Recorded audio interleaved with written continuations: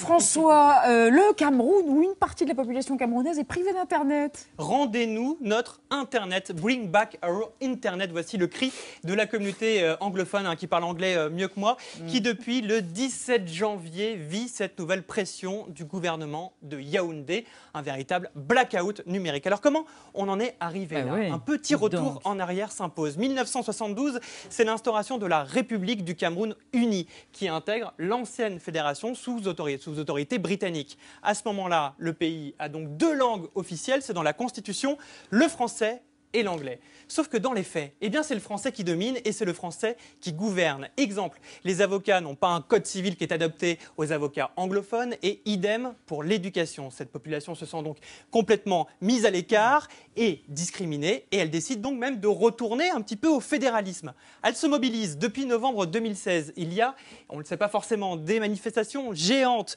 euh, dans la ville. Il y a même des opérations ville morte, c'est-à-dire que la ville est complètement à l'arrêt. hein. Cette population quand même anglophone, c'est 20% euh, du territoire euh, camerounais. Donc c'est pas rien. Et c'est pour ça, c'est pour contrer cette gronde que l'État a décidé tout simplement de couper Internet sans le reconnaître officiellement.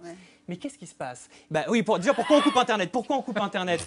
Parce que là-bas, Internet, c'est ce qui nous permet de retranscrire ce qu'il s'y passe. Si on n'a plus Internet, on ne peut pas être au courant des répressions qui sont en cours. Sauf que la communauté francophone, qui elle a toujours du réseau, se mobilise sur Twitter. Solidaire. Exactement, avec par exemple cet homme qui nous Pas dit mal. que chaque Camerounais mérite de rester libre et de s'exprimer, ou une autre, arrêtez cet abus, vous n'avez rien à cacher, pas vrai. Donc l'État, qu'est-ce qu'il fait Maintenant, il joue la carte de l'intimidation. Il envoie des textos à cette communauté francophone signés du ministre des Postes qui dit qu'on risque, qu'on peut risquer jusqu'à 6 mois à 2 ans de prison si on publie ou on propage sur un réseau social une nouvelle sans preuve de véracité. Vous imaginez, c'est donc cette intimidation dont euh, doit faire face justement cette communauté francophone. Même Edward Snowden, l'activiste, est rentré dans la danse avec un tweet pour justement s'insurger contre cette répression moderne. Reste maintenant à la communauté internationale de se bouger un petit peu, mais elle semble elle aussi déconnectée des préoccupations camerounaises.